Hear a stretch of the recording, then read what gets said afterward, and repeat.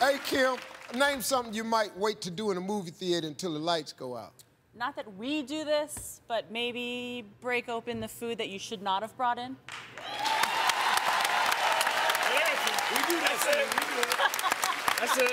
We- Well, Kim, Kim, let me ask you a question. If that ain't what y'all do, where you get that answer from?